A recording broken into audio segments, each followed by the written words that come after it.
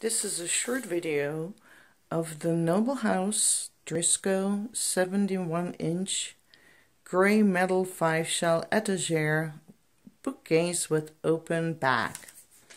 It is a very interesting, well made, well built etagere bookcase that is in sort of a combination of rustic, maybe little industrial style it is extremely well built, nice and sturdy, has these uh, industrial type piping like corners and tubing. The shelves are really interesting as well. They are sort of, it's hard to tell, but they are sort of silvery, black. Again, quite rustic looking.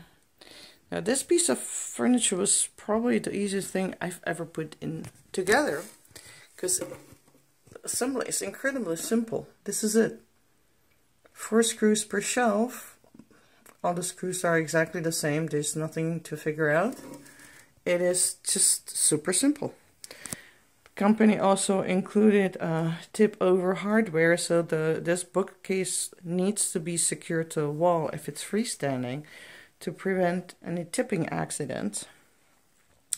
Again, it's it's very nice looking, stylish.